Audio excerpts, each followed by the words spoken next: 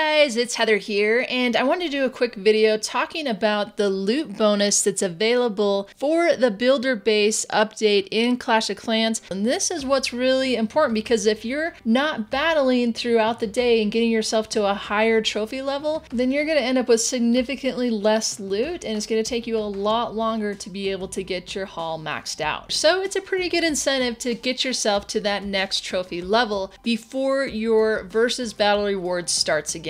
And I also want to give my feedback about the loot cap itself and the completely different change to the way that we play Clash of Clans. Um, I think that this was something that was going to be expected because it, as we were playing it in beta, a lot of us gave the same feedback, had the same complaints about the loot cap because it's such a vastly different way than we're used to playing Clash of Clans. But this is a completely different system. And so I think once you get into it, once you give it a few days, once you understand how fast you're actually actually upgrading and how fast you're actually progressing, you might be able to have a little bit different perspective on where you're going with this because that's where I felt I got to. You know, my initial feedback to Clash of Clans was that three wins uh, was not enough, that that should be increased to at least five, possibly more, comparing it to Clash Royale. I felt like the time between battle reward periods was just too long. I wanted to have that um, happen more often throughout the day. I wanted more incentive to come back and do more versus battles throughout the day. And the feedback that I got from that was that the incentive to do more battles throughout the day isn't as clear as we see it in Clash of Clans, that there isn't a continuous loot that's given to us, the incentive is to get your trophy count higher. And my feedback to that was I did have concerns about how difficult it was going to be to get your trophy level higher. And what I'm finding now that we're playing the live version is it's not that difficult. I got to over 700 yesterday just playing casually. I have people who tweeted me who are just Builder Hall level 3 who are over 1200. So it's really not that difficult to be able to get to a higher reward level. The higher your trophies are, the better the competition is and the more loot you're going to get. So I think we're really too close in the early stages of this that we're having the same kind of reaction that I initially had. But I also see that, hey, if it, it doesn't work and the community just has a really tough time with it and the majority of the players just don't want that, then yeah, they're going to adapt. They'll adapt and they'll change things to make things right for the community. I just don't see that happening anytime soon until they've had more time to gather data on it. One of my suggestions that I'd still like to see implemented is giving some small resource reward for at least the first 20 wins in a 24 hour period, just depending on your trophy level. I think that would just give slightly more incentive to keep battling, give you more incentive to keep building up your trophies, where it's hard to see that incentive that's going to come the next day when you start doing your battle rewards from just gaining trophies alone. The other thing I see with this is it's not supposed to take away and make you leave Clash of Clans and your home base and Clan Wars and everything altogether. This is just supposed to be another thing that you can do. So yes, yes, we're super excited. Yes, we want to grind everything out. But I could also see that if there was no loot cap, people would get burned out really fast to have that mindset that, hey, I need to keep grinding this out until I can get to Builder Hall level 5. I want to get there in three days and not in three months. And that's just not how Clash of Clans works. That's not how any of these games work. And then, of course, there's always going to be the complaints about greedy Supercell. Well, hey, this is an update that took a long time to create and needs to be some kind of pay to play payout. So, um, yeah, you can play for free. That's not costing you anything. You're going to be able to get to Builder Hall level 5 just like the people who are gemming. It's just going to take you a little bit longer. So, it feels like the right kind of balance is there. I don't feel deflated that I'm never going to be able to reach that point. And so, yeah, it's worth it for me to still be a free to play player. But at the same time, there's people who will gem it, and that's great because the more support that Supercell gets, the more games games that we're going to get from them too. So I'm cool with that as well. So yeah, that's my take on it. And I know that I'm being positive, but I think a lot of that has to do with I've had a lot more time to absorb this than you guys have. So hopefully just give it time and you'll get to a better place with it too. All right, guys, I'm going to wrap this one up. So if you like this video, be sure to like it. And if you want to see more stuff on Clash of Clans and the Builder Hall, be sure you subscribe to me. I'm going to be coming back at you again soon. I'm really loving this update. I'm loving the new content it's providing and all this cool stuff that I get to talk about with you guys.